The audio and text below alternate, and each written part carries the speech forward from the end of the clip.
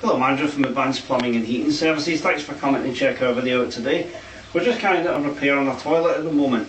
We're changing something called a siphon, where the customers complained about the toilets not flushing properly. Um, this is obviously an indication your siphon is probably gone. A toilet basically consists of two things, your cistern and the pan.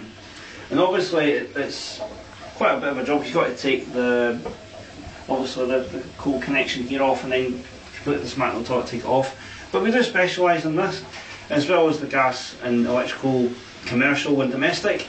We are 24 hours and we do all sorts of things like this, including water tanks and um, obviously air conditioning electrics.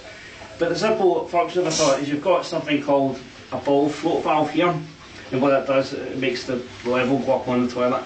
This, the siphon is involved, and obviously when you pull the lever to flush the toilet, obviously does what it says, it siphons it through and flushes it through the pan.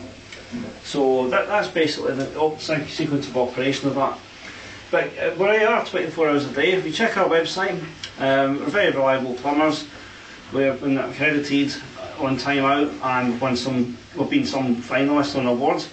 Give us a, give us a check on our website, it's advancedheatinglondon.co.uk and uh, also we've got a phone number 24 hours, even at Christmas time, even at the bells, we're always working 24 hours a day when you need us and the number is 01708 522 666. So if you save that number, keep that, uh, you want to keep that 01708 522 666.